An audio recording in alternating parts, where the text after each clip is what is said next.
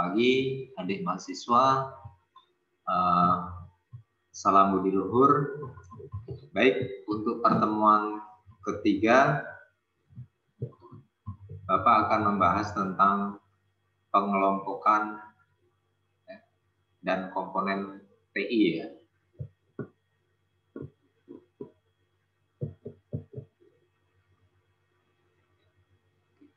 Pengelompokan dan komponen sistem teknologi informasi atau TI.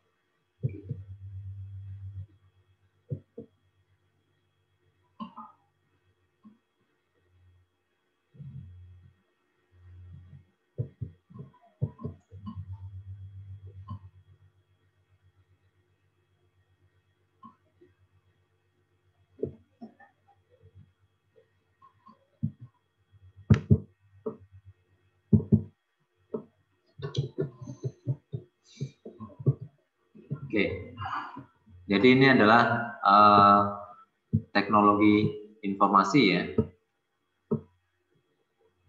Ya, ini contoh dalam teknologi informasi komputer ya. Jadi dikelompokkan menjadi dua ya. Pertama adalah pengelompokan teknologi informasi itu sendiri, kemudian yang kedua adalah pengelompokan komponen sistem teknologi informasi itu sendiri. Oke. Jadi yang termasuk dalam pengelompokan teknologi informasi ada teknologi masukan, unit pusat pengolahan, teknologi penyimpanan, teknologi keluaran, dan teknologi perangkat lunak ya. Gitu. Untuk teknologi masukan nih ada keyboard ya, mouse, dan sebagainya. Sebagainya. Kemudian unit pusat pengolahan ada CPU, prosesor ya, kemudian dan sebagainya ya. Kemudian teknologi penyimpanan. Di sini ada memori internal, ada memori eksternal ya. Memori internal ini ada RAM dan ROM ya. Memori eksternalnya ada hard disk, flash disk, disket uh, dan sebagainya ya. Gitu. Kemudian untuk teknologi keluarannya ada layar, monitor dan sebagainya. Kemudian untuk teknologi perangkat lunaknya ada Microsoft Word ya, ada Photoshop ya, OS dan sebagainya. Nah, ini adalah yang tergolong pada pengelompokan teknologi informasi. Kemudian yang kedua adalah yang termasuk dalam komponen sistem teknologi informasi. Ada perangkat keras yang namanya atau hardware ya, ada perangkat lunak atau yang dikenal dengan software dan ada orang atau pengguna ya, gitu atau firmware ya. Gitu. Kemudian yang termasuk dalam perangkat keras ada mesin, ada media, dan sebagainya. Kemudian yang termasuk dalam perangkat lunak ada program, ada data, dan sebagainya. Oke, ini Bapak kasih gambaran garis besarnya ya tentang pengelompokan dan komponen sistem teknologi informasi. Oke.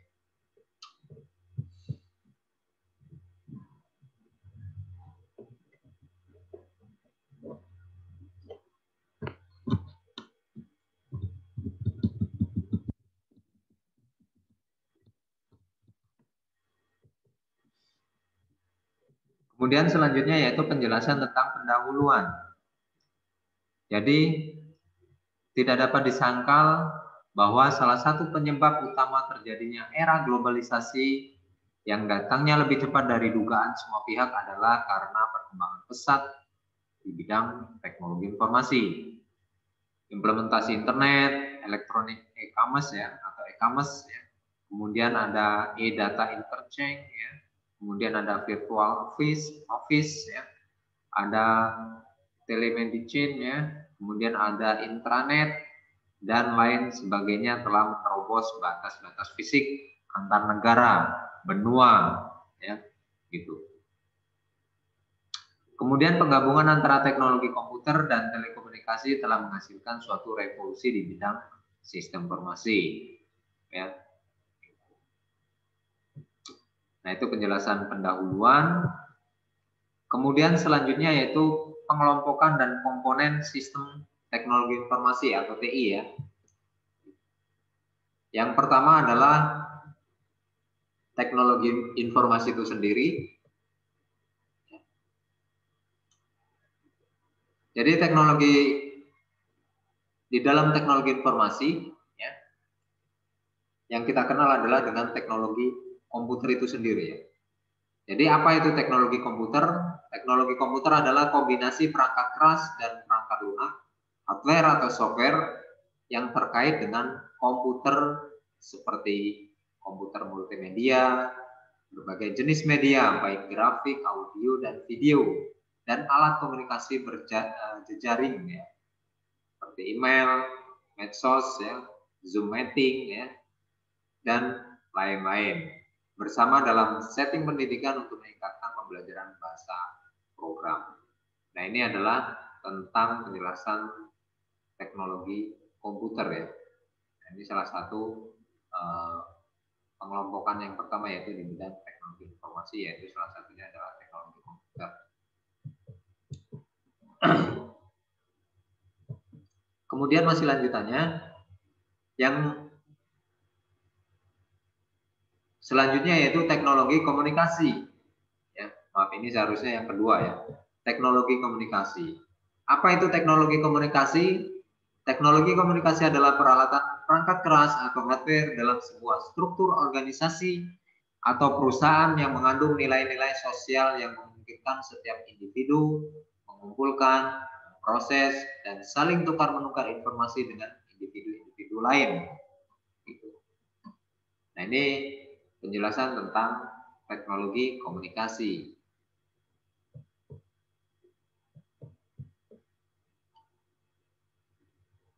Kemudian selanjutnya yaitu penjelasan pengelompokan teknologi informasi ya atau TI itu sendiri. Yang pertama ada namanya teknologi masukan ya. Yang kedua ada namanya unit pusat pengolah. Yang ketiga ada namanya teknologi penyimpanan. Teknologi keluaran dan teknologi perangkat lunak atau software itu sendiri, ya. seperti yang Bapak jelaskan. Nah ini Bapak akan membahas secara detail ya tentang pengelompokan teknologi informasi. Oke, yang pertama adalah penjelasan tentang teknologi ya, masukan. Oke, Bapak pindahin aja.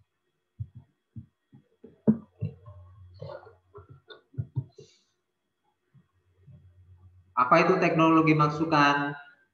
Jadi teknologi masukan ini adalah teknologi yang berhubungan dengan peralatan untuk uh, memasukkan data ke dalam sistem komputer. Contoh teknologi masukan adalah keyboard, mouse ya, barcode ya, touchscreen, dan lain-lain ya. Nah ini adalah salah satu contoh dari teknologi masukan. Oke, Bapak lewatin. Kemudian yang kedua adalah teknologi unit pengolah. Apa itu teknologi unit pengolah? Ya. Atau yang dikenal dengan CPU ya, atau Central Processing Unit atau prosesor. Jadi CPU atau prosesornya adalah komponen berupa chip atau IC berbentuk persegi empat ya, yang merupakan otak dari, dari pengendali ya proses kinerja komputer dengan dibantu oleh komponen lainnya. Gitu. Seperti motherboard ya, VGA, hard disk, ya, RAM, gitu, prosesor dan sebagainya. Nah, ini yang dimaksud dengan teknologi unit pengolah ya. Oke. Kemudian Bapak lanjutkan. Yang ketiga adalah penjelasan tentang teknologi penyimpanan. Jadi teknologi penyimpanan ini dibedakan menjadi dua kelompok yaitu memori internal dan penyimpanan eksternal. Memori internal atau biasanya juga disebut mainboard ya, main memori ya atau memori utama ini berfungsi sebagai pengikat sementara baik bagi data, program, maupun informasi ketika proses pengolahannya dilaksanakan oleh CPU ya atau prosesor ya. Sedangkan memori eksternal adalah segala piranti yang berfungsi untuk menyimpan data secara permanen, baik itu dalam bentuk flash disk, ya, CD, hard disk, ya, eh, disket dan sebagainya. Oke, ini penjelasan tentang uh, teknologi penyimpanan yang ketiga. Kemudian Yang keempat yaitu penjelasan tentang teknologi keluaran ya. Apa itu teknologi keluaran? Teknologi keluaran adalah teknologi yang berhubungan dengan segala piranti yang berfungsi untuk menyajikan informasi hasil pengolahan sistem ya. Contohnya adalah layar dan monitor. Nah, itu salah satu teknologi keluaran. Kemudian pengelompokan yang terakhir adalah pengelompokan uh, teknologi informasi yang terakhir adalah teknologi software atau perangkat lunak. Apa itu teknologi software atau perangkat lunak? Ya. Jadi teknologi perangkat lunak atau softwarenya adalah deretan instruksi yang digunakan mengendalikan komputer sehingga komputer dapat melakukan tindakan sesuai dengan yang dikehendaki atau yang diinstruksikan. Contohnya adalah Microsoft Word, ya, Word, PowerPoint, ya, Adobe Photoshop, ya, dan lain-lain ya. Nah ini adalah salah satu contoh teknologi software atau perangkat lunak ya. Oke.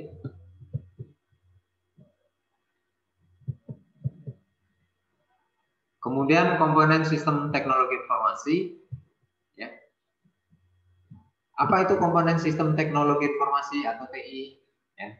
Jadi sistem teknologi informasi adalah sistem yang terbentuk ya sehubungan dengan penggunaan teknologi informasi. Komponen utama sistem teknologi informasi yaitu ya.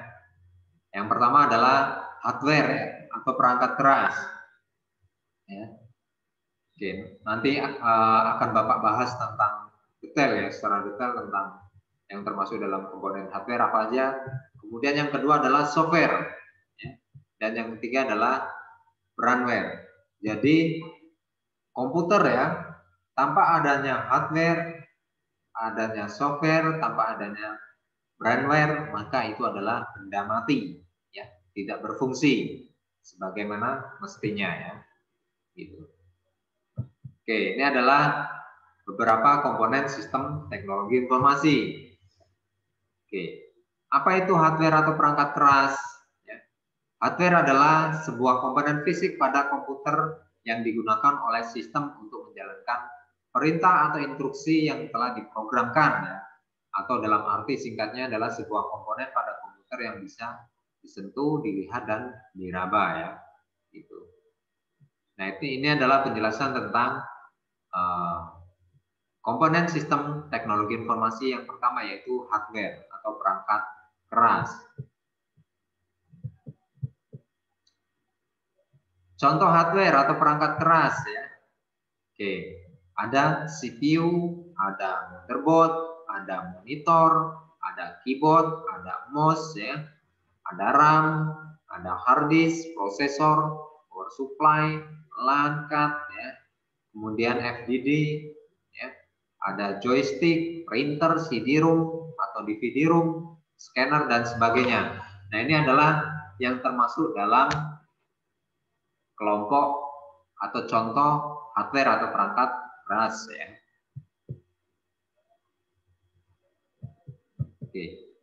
Kemudian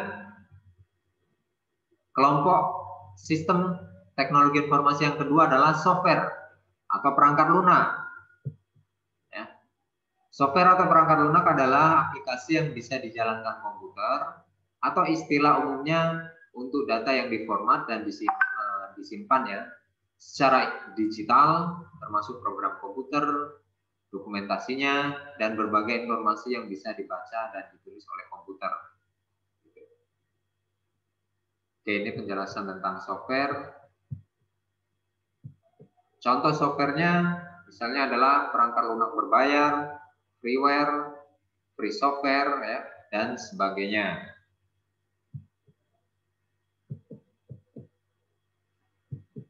Kemudian pengelompokan uh, sistem teknologi informasi yang ketiga adalah brandware ya. Jadi brandware ini merupakan seorang yang memakai atau menggunakan komputer. Manusia ya seseorang ya. Oke nanti uh, akan jelaskan tentang contohnya brandware ya. Nah ini adalah contoh brandware. Oke, Contoh dari brandware adalah operator komputer, teknisi komputer, trainer ya, konsultan, project manager, programmer, graphic design ya, spesialis, uh, spesialis jaringan, database, administrator, sistem analis ya dan sebagainya.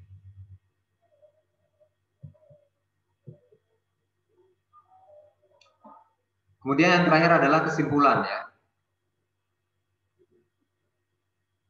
Kesimpulan yang pertama dalam pengelompokan dan komponen sistem teknologi informasi, TI dibagi menjadi dua yaitu yang pertama pengelompokan TI dan kedua adalah komponen sistem TI itu sendiri.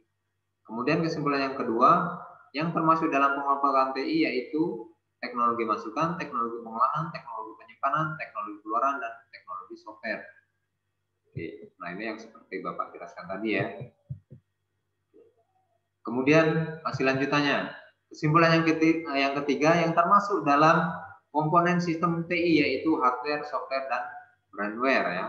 Nah ini yang termasuk dalam komponen sistem TI. Oke, sekian terima kasih atas pemaparan uh, materi hari ini. Ya. Apabila kurang jelas, silakan adik-adik mahasiswa boleh komentar di komentar uh, di channel YouTube Bapak ya. Di pertemuan ketiga yaitu tentang pengelompokan dan komponen uh, sistem teknologi informasi ya. Sekian dari Bapak. Wabillahi taufiq Wassalamualaikum warahmatullahi wabarakatuh. Bapak harap adik-adik mahasiswa jaga kesehatannya, kalau keluar rumah sering menggunakan masker ya. Di situ cuci tangan ya. Gitu. Oke.